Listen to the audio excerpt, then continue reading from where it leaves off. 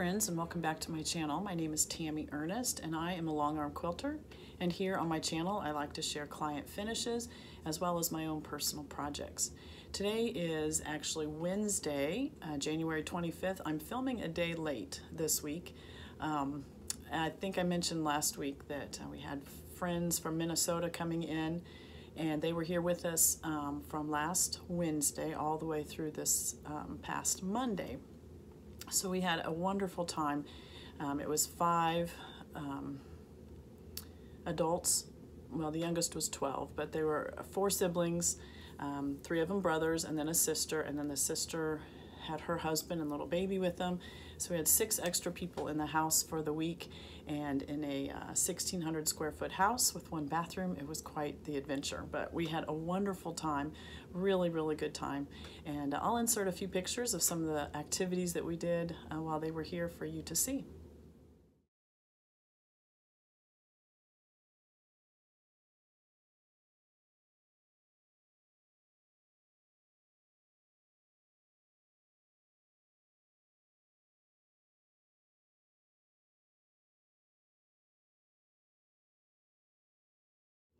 So just a wonderful time. Uh, the most pleasant family, the most polite children I have ever, ever been around, and um, just a very pleasant um, visit with them. And I just want to um, encourage you. If you watch the news a lot and uh, you kind of get discouraged seeing the youth of today, and and I know we've all uh, made those complaints at times. What's the youth of today coming to? And um, it all is not lost. There are some great kids out there, and we had the pleasure of uh, spending the entire weekend with them, with some of those uh, this past weekend.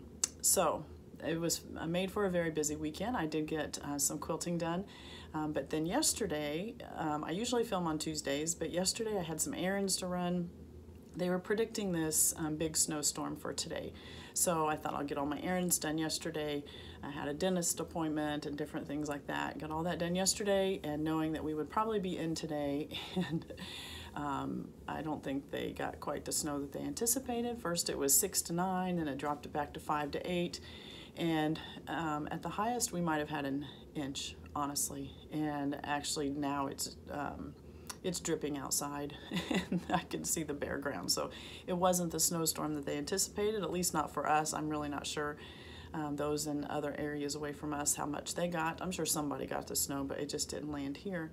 Um, but that caused um, uh, two of my children to be called off of work today and my husband stayed home. He was a, he's able to work from home, so he was at home. So I have the whole crew in the house today, but we're going to film anyway because this was my plan for today. So I have lots of fun things to share today.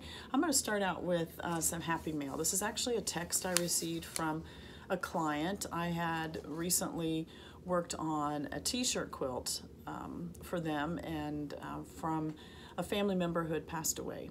And so this was a very special quilt to them. And I received a text message from them this week that just made, uh, made my day, honestly. And I just thought I would share it with you. Um, it says, I wanted to thank you so much for the beautiful quilt. It was more than I had imagined it would be and has started a small amount of healing that we haven't been able to achieve in the last year and a half. Thank you for preserving these memories and giving a tangible healing nudge. Your work, your work means more than you will ever know. And that is why I long arm quilt. Um, there are people out there that have many other talents than I do, um, and they work in their areas. I'm able to do the quilting, and I love to be able to preserve memories for others and uh, in a tangible, as she mentioned, in a tangible way that um, they can hold and cherish and uh, begin healing from that. And so that that's that's why I do what I do, and I hope that's why you do what you do, um, just to be a blessing to other people. I also mentioned last week that uh, for my birthday, I was going to get to go shopping with my oldest daughter. She got married last summer and has moved about an hour away from us.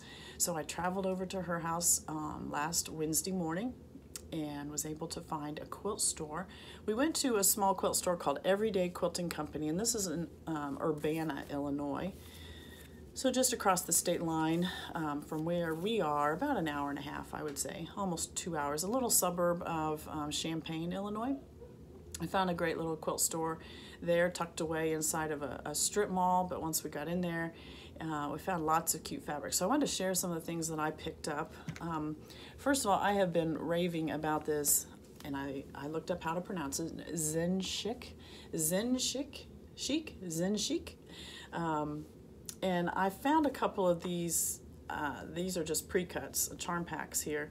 Um, this one is in the line Celestial. I am just um, loving her fabrics. I uh, back in one of my very first um, YouTube videos, I shared a quilt that I had um, long arm quilted for someone that used some of this fabric, and I just I love it. I think it's um okay. Well, first of all, let me show you what I what I love. I love anything that has newsprint, has words. Um, that's what draws me to it. I, I love that. Look at this one like an old um, date stamp type thing. I just, I love that. And I think she has done a very nice job of combining modern, kind of a modern look, modern colors, um, with the, uh, the vintage feel of, of old words and advertisements. I, I just love that. So I don't know what I'm going to do with these yet. I picked up this one and I picked up another one this one is um, Modern Backgrounds. It says even more paper. This is just right up my alley. So again, um, you can just see the old word print, the old advertisement. That I just love that. I just love it. And um, I love words.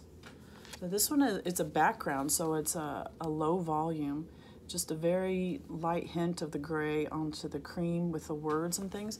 So I just picked up a couple of these packs of, of charm packs. I don't know what I'm going to do with them. I didn't want to forget is why I got them. I didn't want to forget her lines of fabric out there. So um, these are going to sit on my shelf and I'm going to enjoy them even before I do any, any quilting with them. So I picked up those two. those two packs. Another thing I picked up is um, some Best Press. Do you use Best Press at all? So this is the bottle that I had, and this is in uh, Lavender Fields. I love the smell of this. This is uh, starch and sizing, and I needed some more. My bottle is out. So when I was at that quilt store, I asked if they had any. They have a refill bottle. This is actually unscented, which is not my favorite, but I was out, so I, I picked up some, so I'll refill my bottle here. But what I use the Best Press for most often, what I use this for is if I am loading a um, backing onto the long arm and it has some wrinkles, it's been sitting, you know, whenever the client sent it to me or brought it to me, it was folded up in a bag. It's been sitting for a couple of weeks before I get to that project.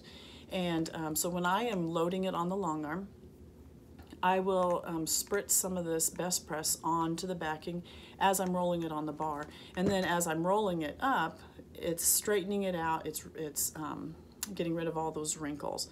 And so I like I like that I like that it's in the lavender. Um, that's I I enjoy that smell. It was it's a very pleasant, pretty smell when you're working in your sewing room. So um, at some point I'll get some. I know they have a lot of other scents and uh, plan on using those as well. I will link some of these in um, in the description box if you're interested. Um, but I do enjoy that when I'm using uh, or loading quilts on the the backings on the long arm. So that's one of the things I picked up because I was out. They also had a clearance table while we were there and I picked up the cutest fabric. This is by Deb Strain. The line is called Cultivate Kindness and it's just, it's an aqua print with um, the vintage trucks. I just love these vintage trucks and they're usually flowers or vegetables in all of them. Now, the reason I picked this up is because I already um, had bought this panel. I'd, I probably picked this up a year ago, year and a half ago. And it's the same line. So here's a panel and it has these um, one, two, it has two, four, six of those squares like that. And then it has a, a wide one across the top, Cultivate Kindness, that's the name of the line. But you can see that the aqua print that I bought matches that aqua truck right there. And so I knowing that I had this panel at home, I went ahead and bought that fabric since it was on clearance. I may just use it as the backing for this. Um, I had picked up a pattern that I was going to use these uh, these truck squares for. Let me show you that one. This one is, I picked this up along the same time that I bought the panel. I picked up this quilt pattern called Twinkling Stars. This is by Megan Poehler McGuire. And if you can see those little um, squares, the truck squares, now this is a different line. These are more um, American Farmhouse, Land That I Love, America the Beautiful, Grow in the USA. Some more patriotic um, prints you can see. But I liked how she dispersed these out into this quilt with all of the star uh, um, blocks as well, small ones and large ones, and sprinkled that out. So this is the quilt that I bought.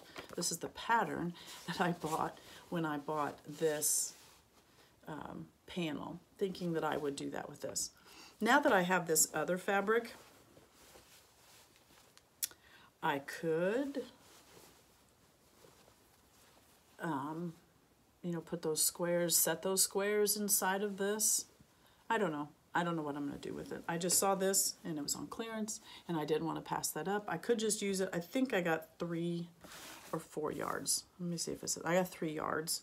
So if I do make, use it as a backing, um, it couldn't be a very big quilt for that, or I could use it as setting fabric for in between these blocks. I don't know. But that was my haul. That's what I picked up when I was there. I like the, this truck too. It's that same aqua. Can you see that? Find joy in the journey. No, find joy in the ordinary. Ooh, I like that even better. So cute, cute, cute. So that was my uh, shopping for my birthday. We went to lunch as well. We got coffee that morning. It was a wonderful time together and I always enjoy that. So that, um, that was my shopping expedition. And then also in the mail this week, I received my January Sew Sampler box. And when I opened this up, I was so excited. I was so excited about this month's box. Some, when you're getting a surprise box, you're never quite sure what's going to be into it. So some months I'm like, eh, okay, not really me. And other months it's like, oh yes, this is me, the me totally. So let me show you what was in my January box.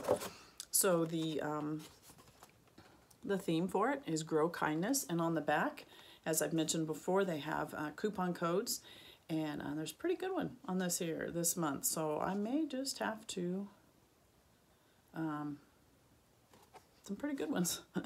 yeah, I may just have to um, purchase something so I can get those. All right, so let me show you. Always a fabric included in the box, and the fabric this time Lori Holt's new calico line. Let me take this out of the out of the package so there's no glare for you. It's her new calico fabrics. Oh, so cute. So cute. Let me do it this way. Flip them like cards. No, that does not going to work. Okay.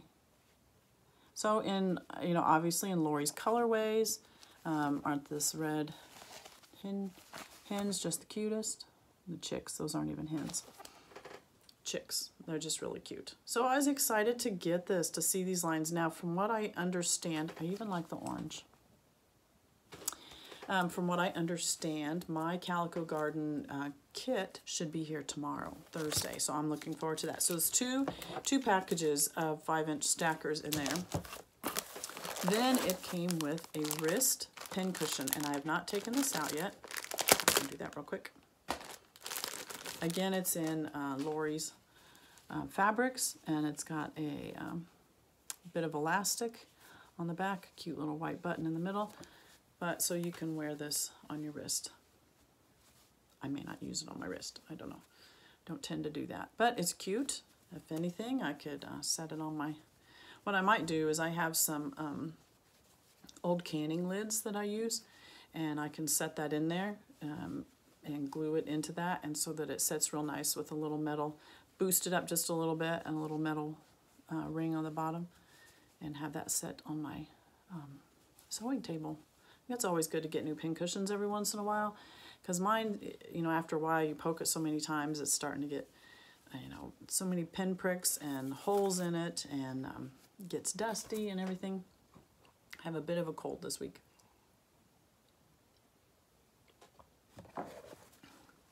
So the more I talk here, the more I'm gonna need to take a drink. All right, this is probably my favorite thing in the whole thing.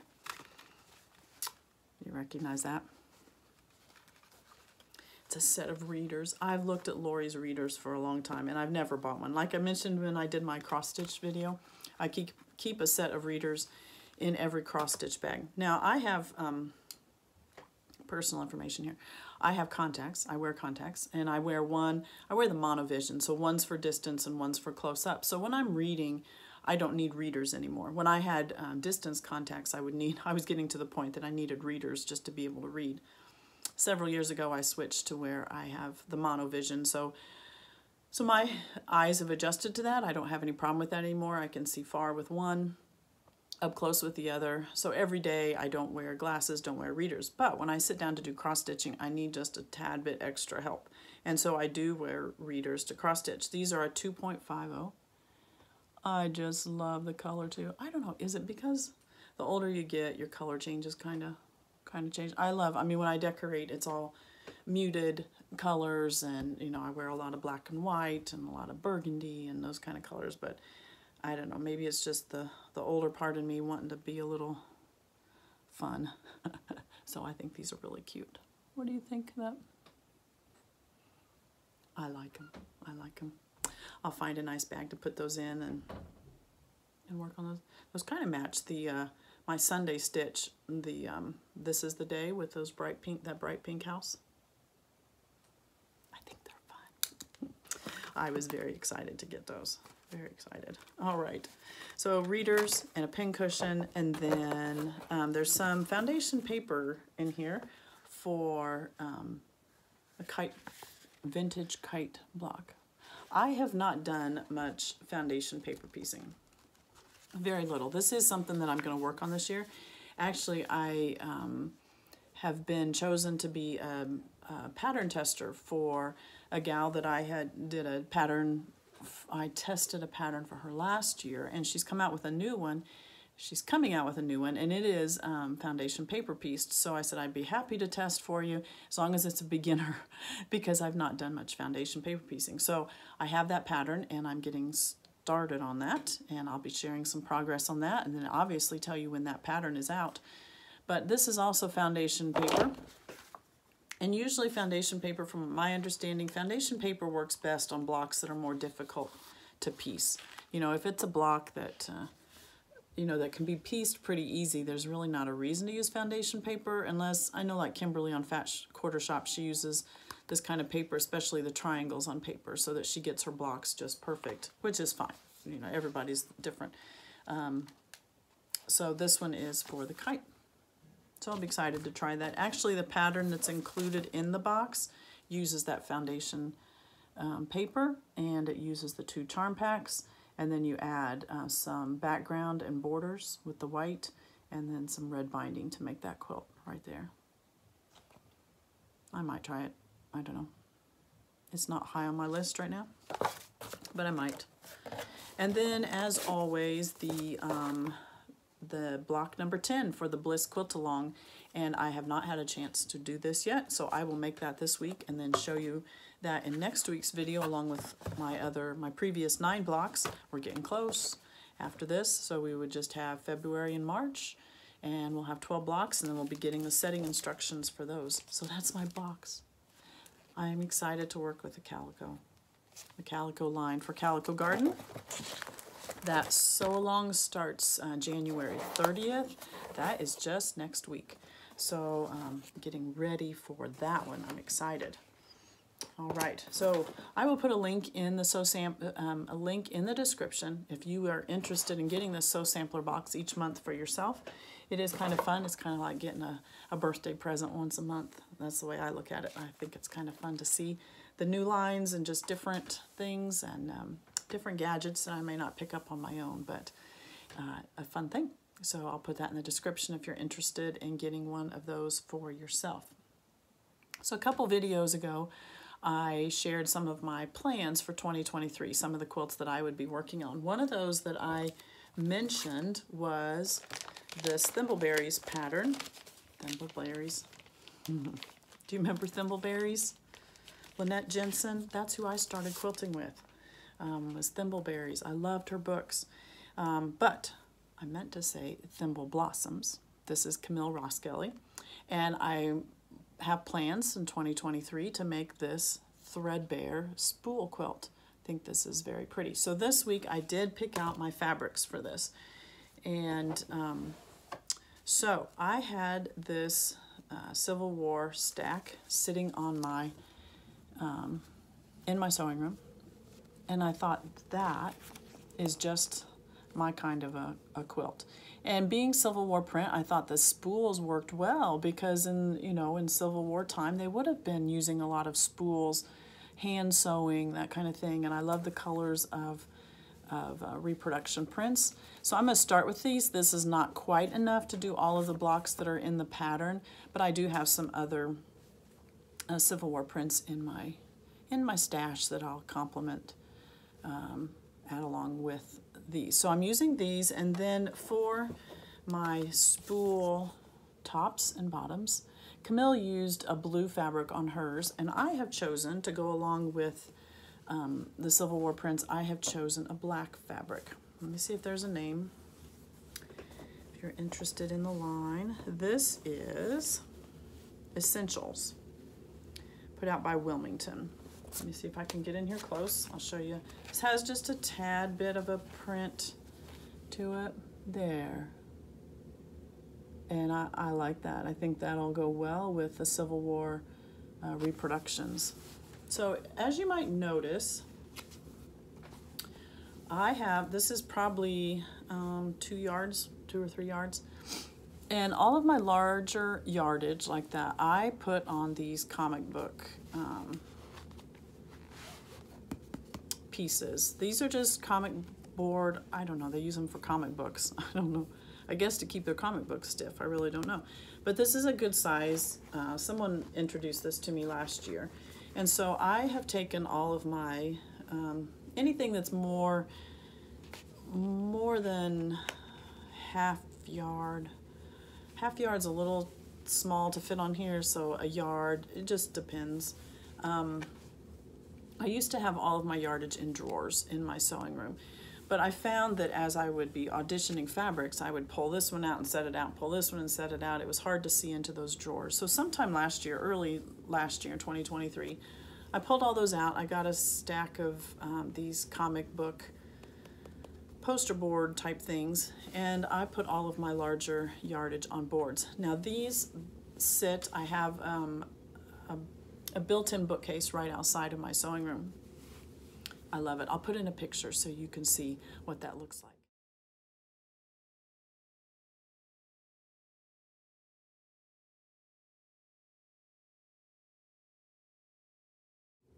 That's um, my favorite. The old barn doors. We uh, our upstairs is a converted attic, so it has um, the sloped ceilings, and in that part of the hallway there was um, open eaves underneath there. So um, my sons and my husband one year cut a bookcase into there, and then my son finished it with barn wood that we had. Those are the shelvings. And then we had these old barn doors, and he put a barn door on there for me. And I just love that. So when I walk up the stairs right outside my sewing room, I have all of these fabrics, just as you saw, standing straight up on that in that shelf. And it's just a lot easier to say, okay, I need a black, or okay, I'm, and I can go through and pull out the ones that I want. So that's just a fun way to store it. I I think part of the fun of going into a quilt store is just seeing all the fabrics and how they decorate with um, the old sewing machines or they decorate with uh, the fabric or the pre-cuts and things. And I thought I can do that. I can do that in my own sewing room. Make it my own pretty. Someday I'll do a sewing room um, tour. The problem the problem with a long arm machine is it's big and bulky and it's not pretty. I mean I have probably one of the prettier long arms on the line. You know, I, I, think the Handi Quilters are made with their white metal casing. I just think they're a little prettier than some of the other steel colored models out there. But it's a big, bulky machine and it fills up half my room. And so um, while I see many people that have these beautiful sewing rooms, um, mine is is packed in there with my machine. So yes, I do keep a lot of trinkets and a lot of decorations. It's just not the prettiest thing with a long arm. but one of these days I'll do that for you. So I film, I actually don't film in my sewing room. I film downstairs and um, it's just a little more room down here to move around. And then I do all my sewing upstairs in my studio. But I enjoy decorating with um, stacks, pre-cuts, yardage, and then having these all outside of my sewing room door. Um, it just brings me joy. So that's, I've got this picked out and I'll begin working on that. This week I did not, I picked out the fabrics for this, but I did not work on it because I was working on one of my other projects for 2023. So I've joined in the Sew Scrappy Spools quilt along that Fat Quarter Shop is doing.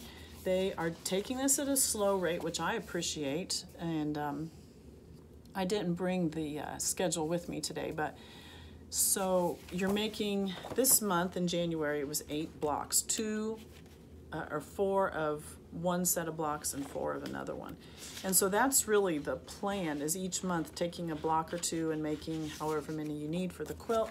So you have all month to do it. So it began officially on January 12th. And um, so this week I worked on mine. So here's the pattern and there is a link below for you if you would like to join in on this. And let me show you the fabrics that I've chosen. So I mentioned that outside my sewing room I have my yardage. Um, anything that's more than a yard, even if it's a tad bit under a yard, if it's big enough that I can fold it around that, that uh, cardboard piece, then I like to put it in there so that I can see it. Inside my sewing room, I have two of these tubs that are for fat quarters. I would say fat quarters, but some of them are a little more than a fat quarter. So this is be the in-between. They're not scraps. You know, they're not cut um, like that. I'll show you those buckets another time. But these are, I don't want to cut these up into scraps yet because I may need different sizes. I may need, you know, a seven inch square or a five inch square or a strip of some kind or different sizes of, of strips. So I leave these as either the fat quarters or they may be even, you know, three quarters of a yard or something like that, half a yard. Just not quite. Sometimes these are pieces that um, aren't quite square, so they don't fit on the comic board books very well, the comic book boards very well, so I'll put them in these. So I have two of these, and this is just your Target or Walmart or Joann, whatever, okay? and um, I have these inside of a drawer so I can pick this up and take it out of the drawer and that's what I did when I looked in my drawer and said okay I'm gonna start these scrappy spools what fabrics do I want and I started to pick from my um, scrap bins I have bins that are one and a half two two and a half three and a half and five and I started to go through there and I thought well but then each month when I do those blocks I'm gonna be be picking different fabrics and it may not coordinate so well. So I pulled out this bin and what I've decided is I'm pulling all my fabrics for the year-long quilt-along from these fabrics. I like, they're mostly muted. There's a few bright ones that I may not, but you know, when they're all mixed in there together, even the bright ones like, you know, there's a kind of a wild one right there. Even the bright ones like that would work so then the spools um, themselves are, uh, in the pattern she uses one brown. Mine, I'm going to choose one of these browns each month and that's what I'll make those blocks out of. So I'll just keep all of these fabrics. I'll set it off to the side until February because now I'm done with these blocks. Um, and then February, I'll pull these back out again and I'll pick whatever block they're working on. I'll pick the colors that I want and, um, and go for that. So, you want to see the blocks? so we had two blocks, two different kinds of blocks to make this month. So one was just a four patch, very simple. There's one. There's another one. And a third one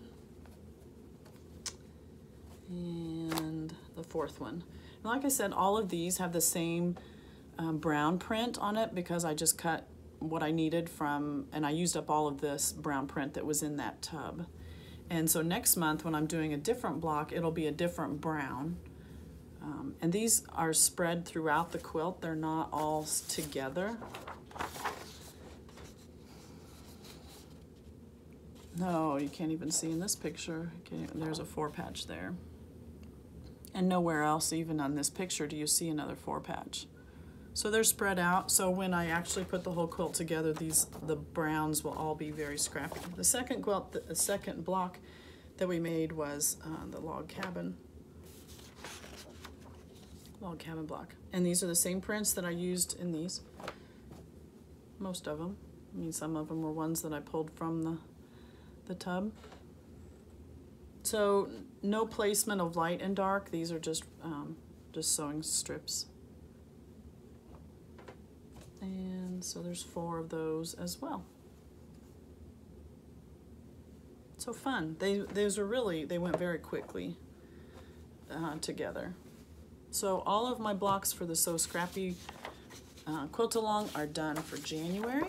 So now I will put set this aside and that's part of the reason that I went ahead and pulled the fabrics for that uh, threadbare because this project, the spools, the Scrappy Spools project is done for January.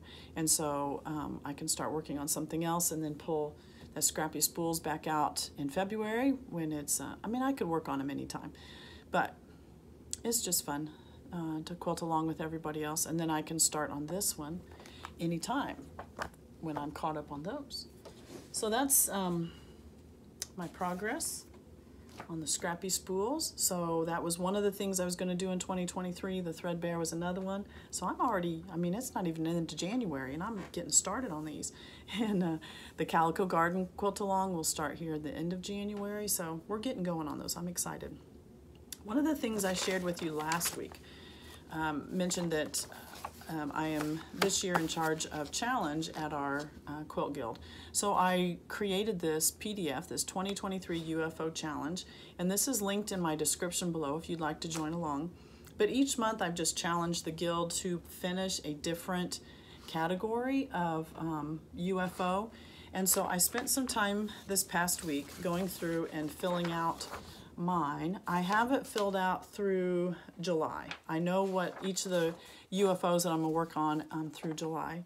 The others I haven't, I'm not ready to commit is really why I don't have anything down there. I have some projects that would fit, um, but at this point I'm not sure if I really want to finish those this year. So I haven't filled in that part. But let me show you what I'm what I am working on, what my plans are for each of the months so that I can finish these UFOs during um, 2023. So the first one, it says, in February, we're supposed to pick our smallest UFO. And I have to preface this by showing, um, do you see that pillow back there? I'll scoot over just a little bit. This is a um, truck pillow put out by Buttermilk Basin.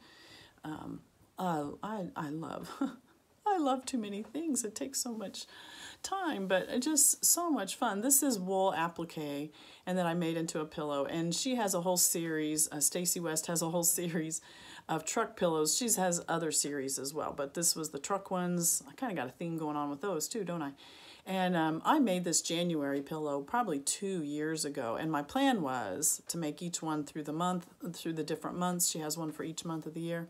I did the January one and then I was off track. I never finished the. I only have um, the February one. I don't even have the others um, in my sewing room. I could always order them. But as my smallest UFO for February, that is what I'm going to finish. Let me pull the pattern out.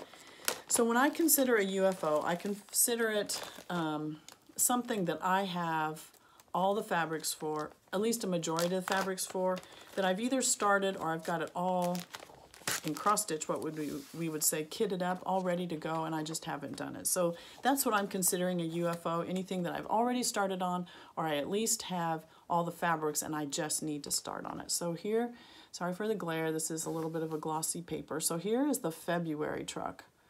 And what I love is this um, well first of all this is a wooden wooden piece that she includes in the package. Let me show you this one up close because the February one is very similar.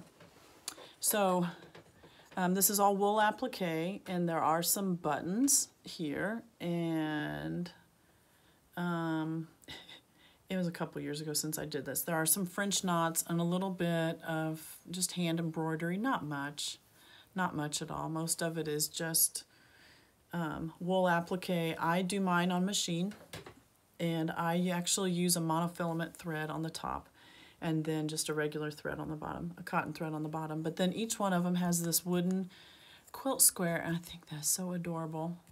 This is the January one. And then each one of them has some sort of little garland, and this is um, not attached to the pillow except at the sides right here. These are um, applique, hand applique, just stitched, and then um, folded over and stitched along there. That twine is is run through there and that's just just adorable. And I keep this out in my in my living room. So then the January that's the January one. The February one has the hearts in the back of the truck. It has a, a different quilt block. That's not the same one. Nope different one. And then it has the little garland and this one says love on it so for February, this is my first UFO. In my UFO challenge, I'm going to finish this pillow. It's all kitted up. It came with everything I need. The quilt block, even the, the little um, twine that you use, all the different wools. And um, it even has, I don't think it has the back, the back pillow part if you're going to make it into a pillow. I think I put my own on there. Although there is a piece here and it looks pretty big, so maybe it is. I can't remember. It shows you how long it's been since I did the other one. So in my UFO challenge, for my smallest UFO listed in February, I have Truck Full of Joy. Um, and that's what it's called, Truck Full of Joy Monthly Pillows, and this is the February one from Buttermilk Basin. So that's my February UFO that I've committed to. In March, it says the UFO that you have had the longest, and I am truly embarrassed to show this, but it's a UFO and I should finish it. So back in 20, you can't even say 20, 2002, um, there was a quilt store in Indianapolis called Quilts Plus. It's not even in this location anymore. It's now owned by a different owner and it has moved to a different city. But I was a part of a second Saturday sampler. This is probably one of the first things I did as a quilter. I know my mom and I did this together. And so um, you went the first time, and I can't remember, maybe you paid like five bucks for the first visit, and you would get um, a little package that had your materials and your instructions to make the block for the next month. And then if you brought that finished block back on the second Saturday, you brought that finished block back, you got the next packet for free. For nothing. As long as you brought this one back, you would get the next month's free. And there were 12 of them. And I have all of the blocks finished. These, there was different colorways. I chose the flannel one. And I have all of these blocks finished. Now, to be fair, I did I did two. So I did one quilt and I finished that one, all of these blocks. But I, the, the rest of these, I had done a second set and I've never, never finished them. So I'll show you these blocks real fast. I actually have 11 here. I have one that's framed and um, is in my stairwell. Um, but the thing is, I think what I did is I purchased, when the whole thing was done and I made my first quilt, then they had a bunch of these um, little packets made up and they had extras. So I went back and I, and I purchased some of those. So like I have a couple that are the same. So I have two of these blocks and look, that one's even, I need to fix that one. Um, but this is what it looks like. So each block was different. The fabrics coordinated, but they were not uh, the same. They're all uh, flannels, the same background fabric, and then just different flannels or um, almost like shirtings type thing. So I have all 12 of these blocks. So the only thing that I need to do is purchase some sort of um, flannel to use as my sashing strips. Maybe some cornerstone strips. That one's a cool block, I think. And, um, and put the thing together. So My oldest, the challenge is a UFO that you've had the longest. I think 2002 qualifies. What is that, 21 years? That's terrible. Terrible. This one's a cute one. I like that uh, fall fabric right there with the leaves on it. So for March, that is what I'm going to finish. My the the UFO that I've had the longest. uh, it's a good thing to go through these projects every once in a while because it's just insane to think that it's been that long. All right, so then for April, for April it says a project that someone else gave you. And if you're like me, once people know that you're a quilter, um, they give you stuff. My mother-in-law is getting rid of this. Do you want it? you know, so and so passed away, and here's a project. Do you do you want to finish it? Somewhere along the line, someone gave me a whole set of Sunbonnet Sue um, applique squares. And they're all finished. I mean, it, they're all on muslin. Um, looks like they're all zigzag stitched. There's look like a basting stitch down there first, and then it's zigzagged. They're all Sunbonnet Sue. Let me show you some of these. So this is a project someone else gave me. I did start on it because I've put um, like a two inch sashing around many of the blocks. Isn't that adorable? Look at her little dress. And I've even got tags on it. Like my tag right here says 1D. So this is, you know, obviously row one and it's the fourth block over. And so at some point, I don't, I don't really know how old this is. I like that dress too. I started doing some, well, I can tell you, um, a lot of these fabrics are not, um, mm, how do I want to say? They're not quilt store fabrics, is what I'll say. I was using scraps, what I had, or I was using yardage that I had. So, I mean, this one itself may be 15 years old probably not quite as old as my flannel ones, but it's very old. So I have probably, I don't know, eight or ten of the blocks that I've got the sashing around. Isn't that purple so cute? This just reminds me of some of the dresses I wore when I was a little girl. Red polka dot. And I've done a different, all different sashings around, you know, each one. So I probably have, like I said, eight or ten of these squares finished. I have enough. I have five rows and four across. These blocks with the um, sashing on it finish out, I think, at 19 inches square. So if I calculated right, that would make a quilt that is 76 by 95. So a pretty good size. And then other blocks that I have, um, Sunbonnet Sue is on the muslin, and then I have attached these four sashings that I was going to put around the edge. And uh, I got busy doing something else and never finished it. So that is my plan for April. This is the UFO I'm going to finish for April. And uh, see, I have, I mean, it's pretty well laid out. I could just, um, you know, set this next to my sewing machine and be working on it. Don't you love her dress there? Yeah, it's so cute. So I don't even think the person who gave it to me, it wasn't her project. It was somebody had given it to her, I think, and then she passed it on to me. So it's a cute one too. So a lot what looks like to me is um, 60s and 70s prints. She did a good job coordinating the solids of the shoes and the hat with the, the dress itself. Really cute.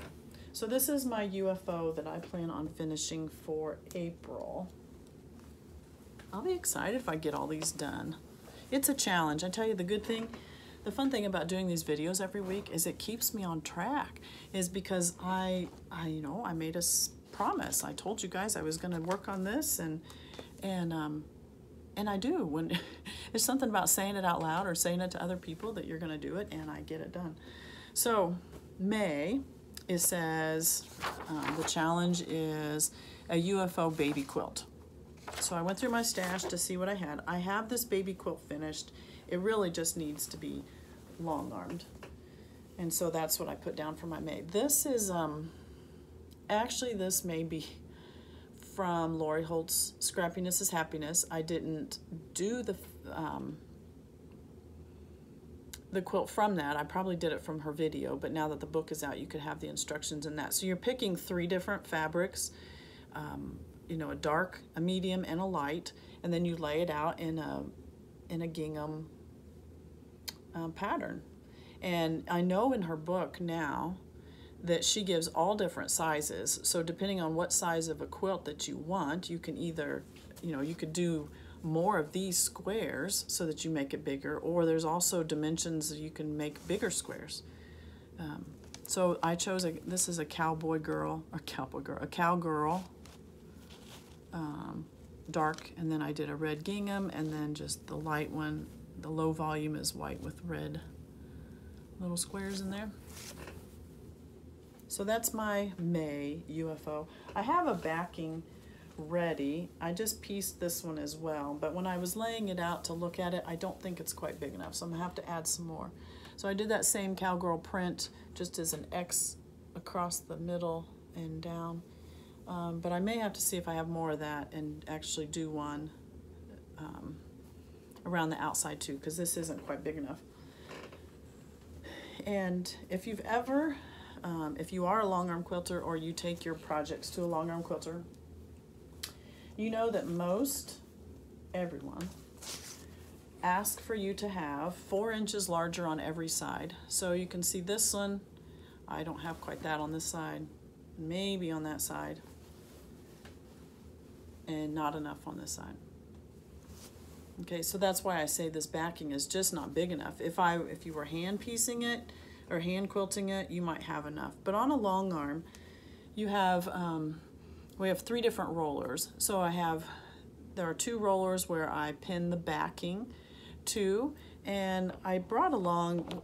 I don't actually pin my backings. I use what's called a red snapper, and I brought some of this along so that you could see kind of how this works. So this big long red tube um, runs in a pocket that I've put at the very edge of my leaders. So those not familiar with a long arm quilter, if you can picture the old um, quilting frames back in um, olden times that the ladies would all sit around and they would have the quilt um, rolled on the on these big long rollers you know they might have been 8 10 12 foot long and the quilt was rolled on that and then they would have just a small section that they could they would be sewing on at a time. A long arm quilter is the exact uh, quilting machine is the exact same concept except you know we have the the quilt top and the backing all three layers right there but it's an actual machine with a very long throat space that is actually stitching out those designs so you can't attach a quilt directly to those bars. You have some cloth leaders. They're usually,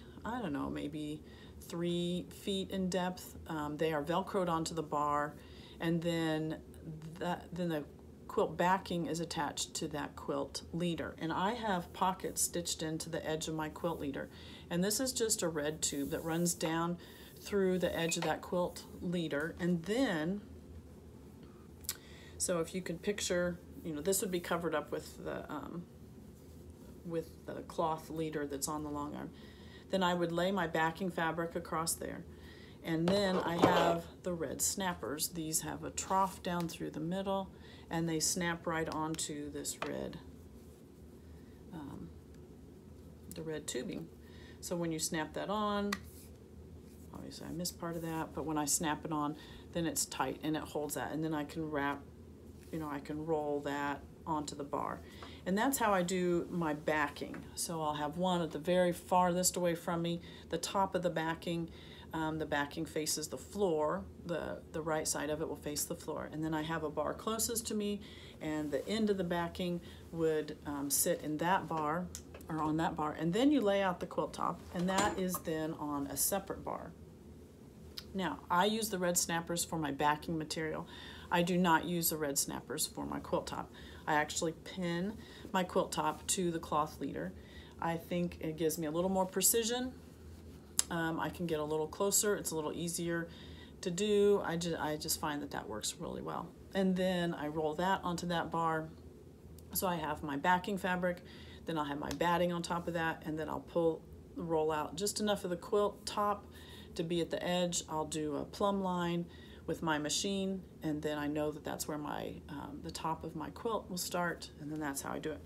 But because you're attaching those backing fabrics to these leaders, we need extra fabric to be able to attach those leaders. The red snappers will take a good inch of fabric themselves. Then I can't sew right up next to that.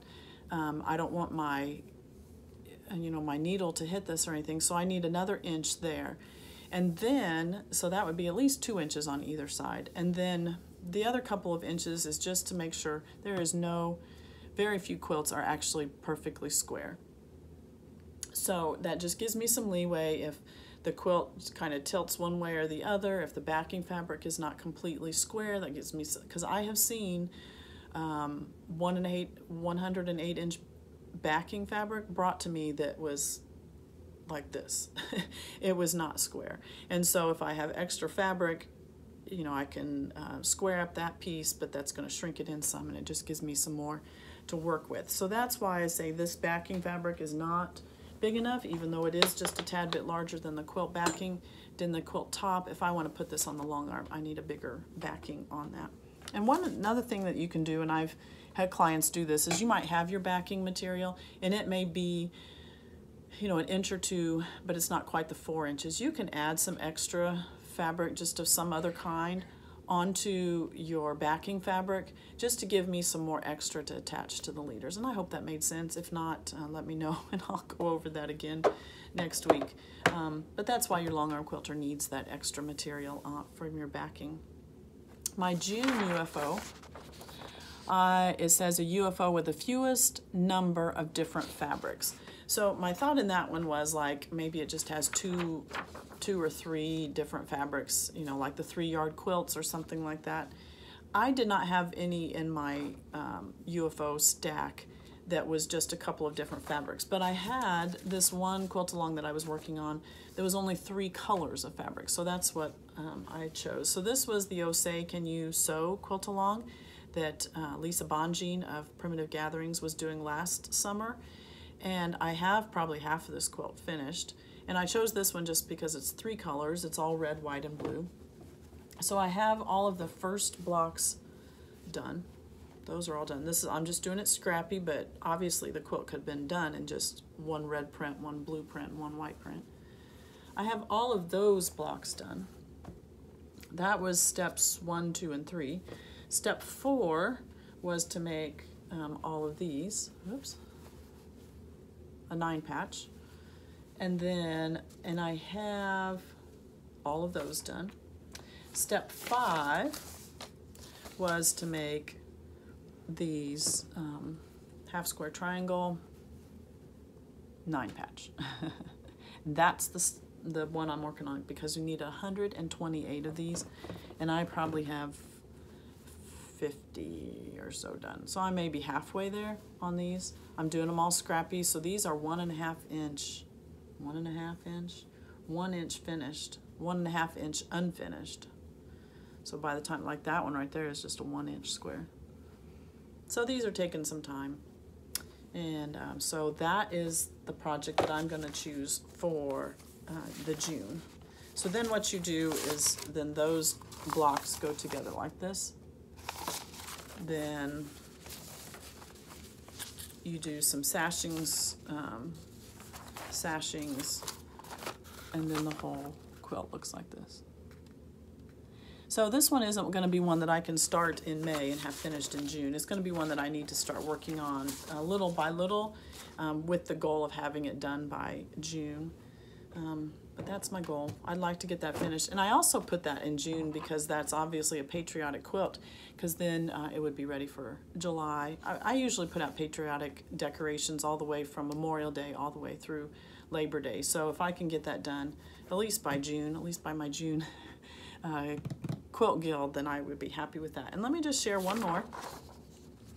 So the July one says a UFO with the brightest fabrics. And so when I went through my UFO challenge, my UFO stack, um, I found a quilt that I've been working on for a while, but I haven't done. So I keep it And I like this um, enamel pan. This is most likely a bread tin, you know, that they would have kept bread in. Um, I like this one because it came with a lid. But you can see my little tag on the outside says Quilty Fun. So this is one of Lori Holt's patterns from her book Quilty Fun. And I was there for a while. I would do one row of these on a Friday night and then, I don't know, life happens and I didn't get back to it. So let me show you how much I have done so far. Um, so inside I just have a plastic container. This is actually a spinach container.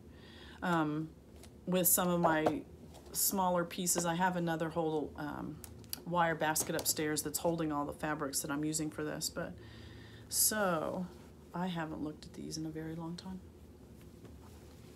So here's one. And these are all Lori Holt prints. I don't remember which line it's from. I think I just picked a bunch of different ones I liked. Actually, that one is not a Lori Holt print.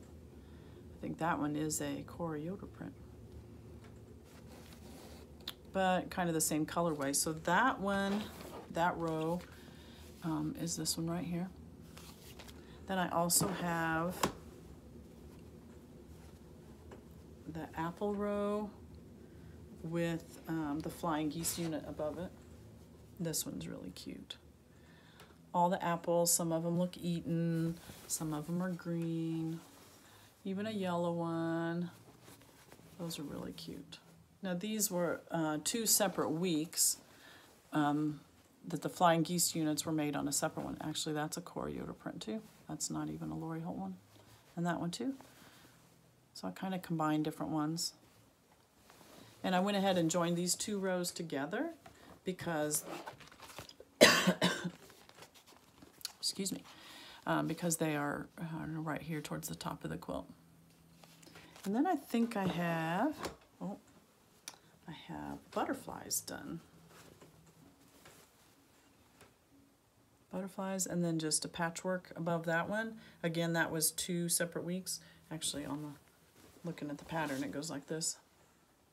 The patchwork is underneath it. So just cute little butterflies. Yeah. And so that one is um, down here at the bottom with the patchwork underneath it. So I still have um, the mitts to do and I don't know, what would you call those? Are those little, I don't know, leaves? Baskets, I have the cups, the spools will be a fun one. And look, there's houses. I always love houses. And there's some uh, triangle stars, then flowers at the top. So I would like to finish then. So looking at my, the challenge was um, the UFO with the brightest fabrics, and this is uh, definitely counts for that. These are probably the brightest ones I have. So if I, you know, that's two big quilts back to back, one month after the next. So I will have to um, probably put this on my schedule each month if I'm going to get that done. But that would be a fun one to do. And I chose the challenge of the brightest prints again just because it was summertime, it was July, be a good time to work with those kind of fabrics and uh, be cheery and summery. So that's my plan for that one. So I have UFOs scheduled for February, March, April, May, June, and July. February, March, April, May, June, and July. So I have six of them done. Um, like I said, I'll see how well I do on those before I actually choose ones for the other ones. So the other ones, some of them are a little smaller. A wall hanging, a table topper, a UFO that's not a quilt. So that could be like maybe a bag. I don't think I have any bags. Unless I did like a quilted um, project bag for my cross stitch or something like that. And then the largest UFO, I have a very large Christmas applique um, quilt. It was a whole um, kitted, whole kit that was given to me by my aunt. And I haven't worked on that one yet, but I might be able to do that one for the largest one in November. That would be a good time to have it done for December. So like I said, if you would uh, like to join in this challenge, um, this free PDF is, a, is um, available in the description below. Just a good way to get started and uh, to finish some of those projects that we all have sitting around the house, right? All right, final thing for today is let's go through some customer quilts that I have finished. I have them hanging up here on the wall. So let's start with this flannel one.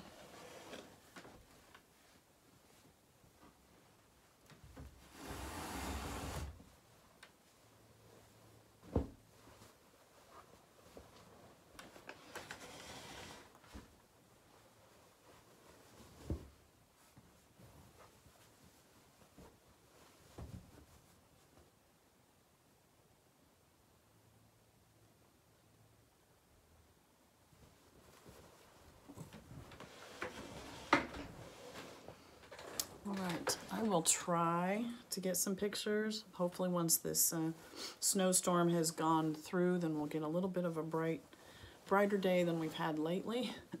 and I can get some good pictures uh, to insert. But this is just um, some flannels, all different kinds.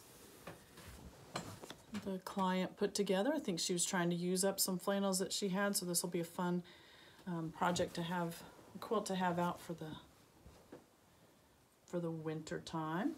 And let me get in close and show you the, the stitch design. So this pantograph is called Sashiko. Sashiko? Yeah.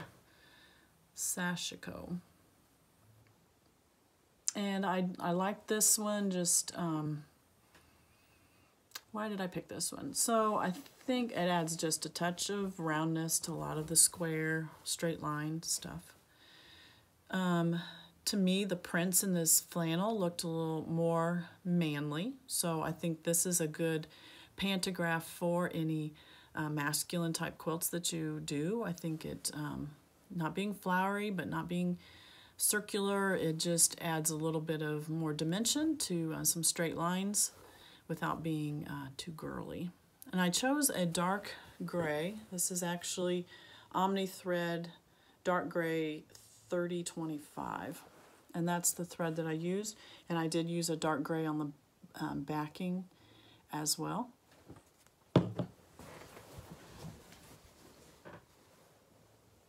So even though, you know, there's a lighter color, the dark gray looks nice on that. And see, even from a distance, you really don't see that at all. And I like it on the orange. Sorry about that. I like it on the orange.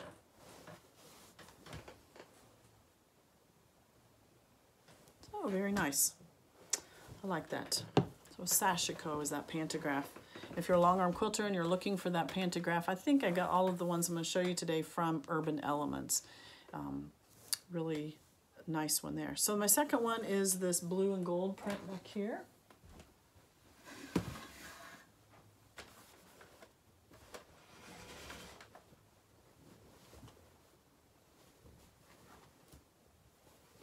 This both directions.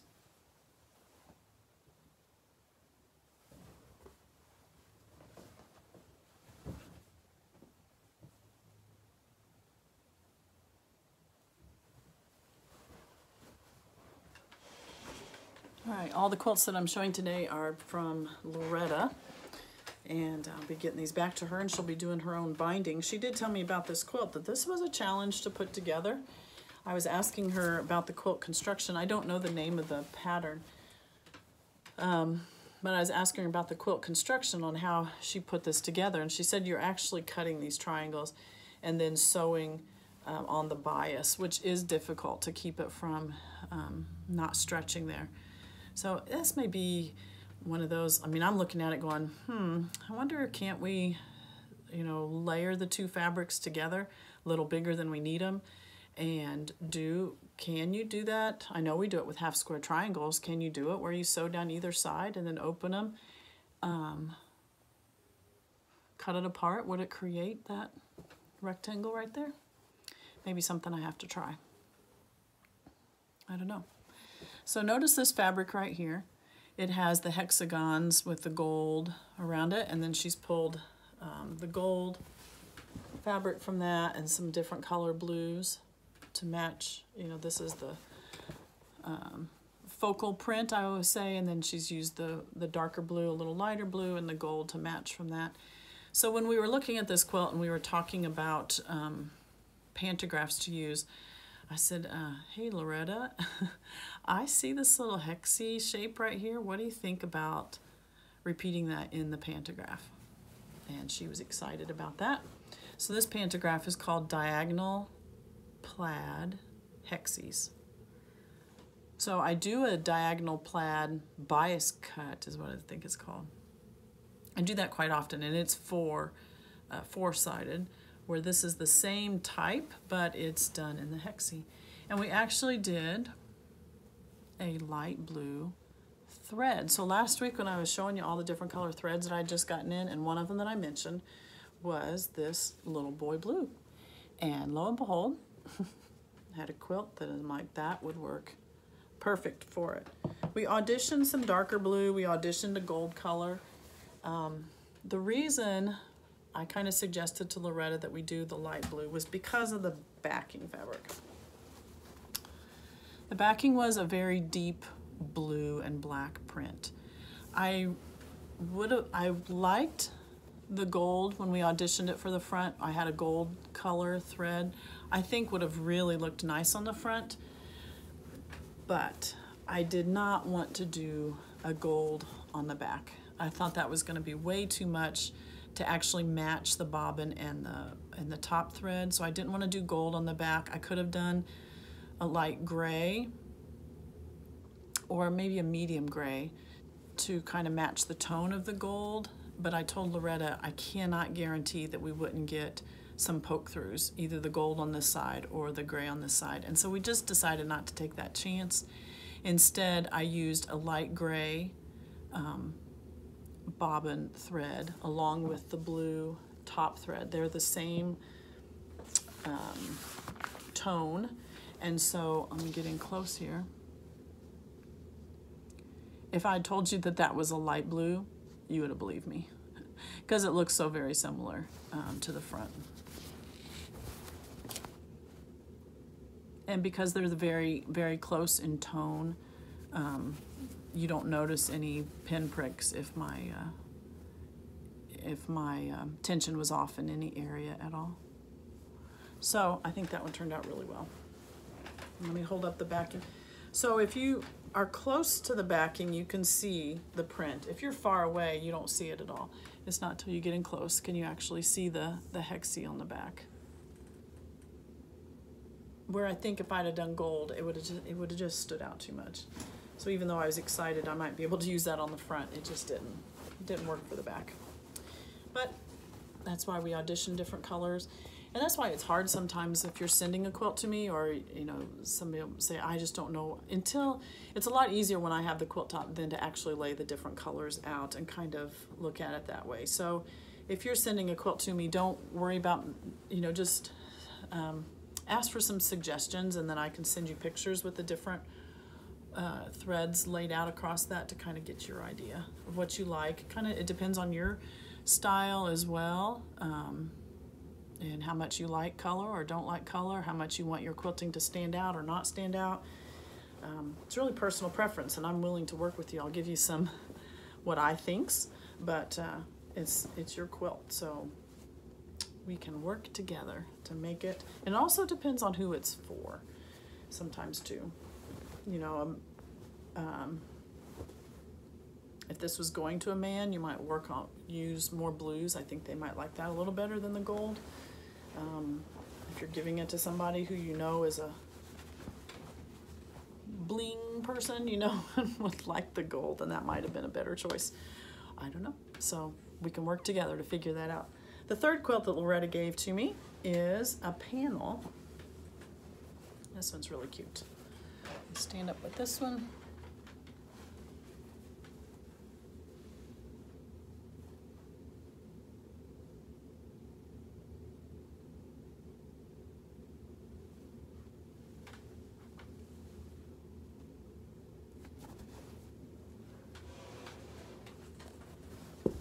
All right. so this is a simple panel that Loretta just added. Um, looks like maybe one and a half, two, not quite two, one and a half inch, two, not two and a half. Um, sashing around it, a border around it, just in black. So she gave me my option. Uh, she said, you can choose whatever pantograph you want.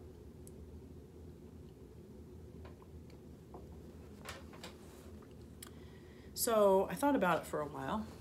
I thought, well, I could do like uh, uh, Karen's chevrons is one that I considered.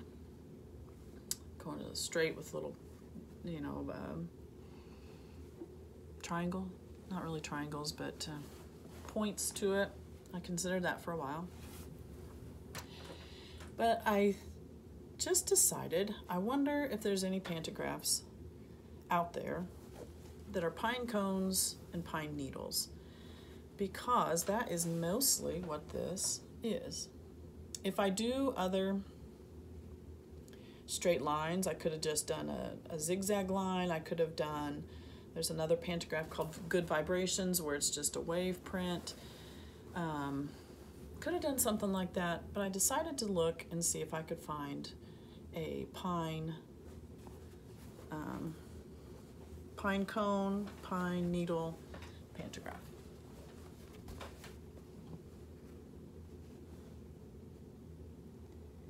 And that's what I found. This is called Maureen's Pine Boughs. So you can see, I should have printed this out because it does blend in really well with this quilt. You can see right here and right here, those are pine cones. And then here is more of the pine branches. I like that. Another pine cone up here. I think there was a total of three pine cones. And then, um, so yeah, I mean, it's, there you can see it on the black a little bit better. But then once you get into the print of the panel, it's very hard to see. I went with a light gray thread.